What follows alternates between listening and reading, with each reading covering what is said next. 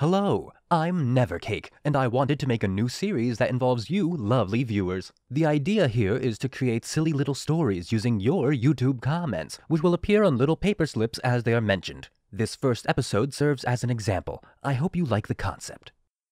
Silly Smite Stories A man was walking. Wait a minute, he shouted. This isn't the path to town. Oh no, he had wandered into the Field of Falling, which was a field where you fall a lot. The man's brother looked on, super jealous of his sick, nasty acrobatics. Won't somebody save him from this radical fate?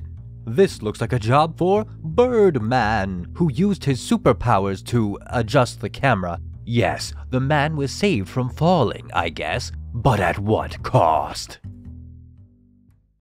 Leave your comments below for the next episode. Did you know YouTube has subscription functionality? It's true. Just click that subscribe button and prove me right. Heck, you'll even get a Nu Wa skin out of it. What a bargain!